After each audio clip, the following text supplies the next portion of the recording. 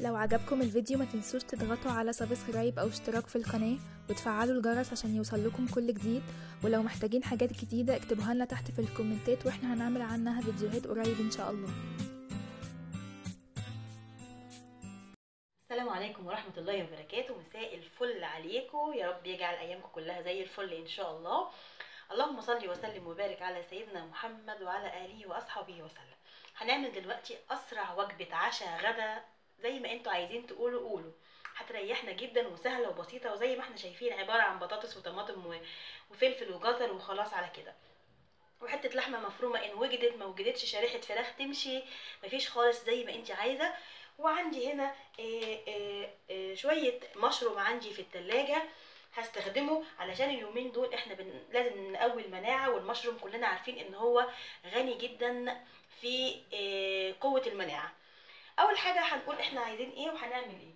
إحنا هنا عندنا بطاطس عندي طماطم متقطعة عندي فلفل ألوان عندي بصلاية مبشورة عندي جزر عندي حتة لحمة مفرومة زي ما أنتوا عايزين زي ما أنتوا شايفين كده في التلاجة وعندي شوية إيه، مشروم هاخد منهم جزء أو اخدهم كلهم زي ما أنا عايزة وعندي توم وشطة خضراء مفرومين.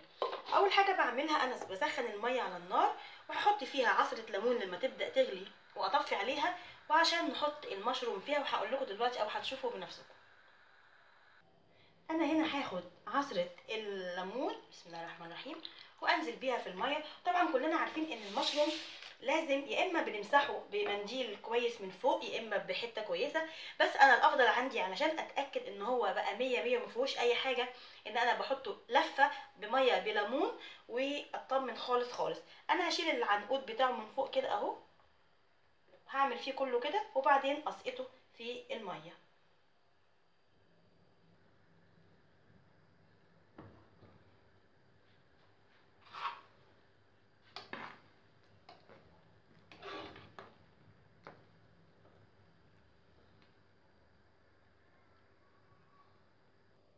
أنا بقى هنا هاجي أنزل بكل الخضار بتاعي. طماطم فلفل ألوان بصلاية مبشورة جزر بطاطس.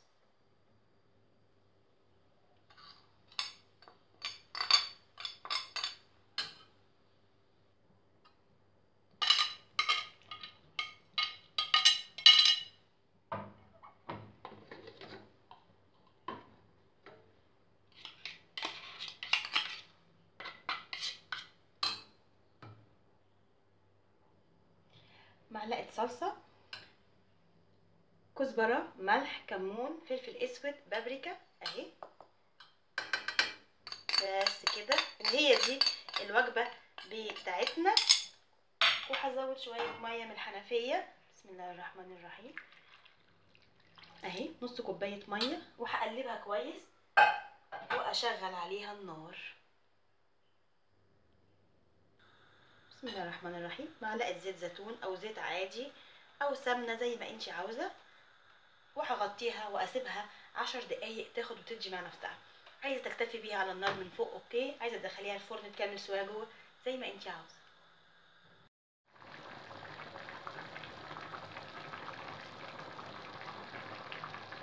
خلاص هنطفي عليها أهي.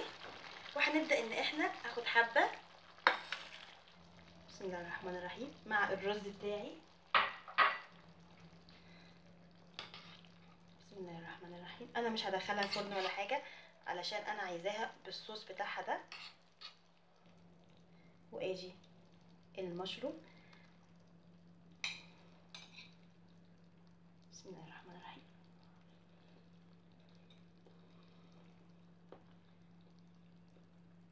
سخنة طعمها خطير. ريحتها حلوة جدا. لازم تجربوها. أسرع وجبة ممكن نعملها. يعني سهلة وبسيطة ومش مكلفة. إن شاء الله هتعجبكم. جربوها. وبفكركم بالاشتراك واللايك وتفعيل الجرس. وإن شاء الله رب العالمين. آه، كل حاجة حلوة جديدة جاية بإذن الله هتعجبكم. وبشكركم جدا جدا وبحبكم في الله. وبألف هنا وشفا. سلام عليكم.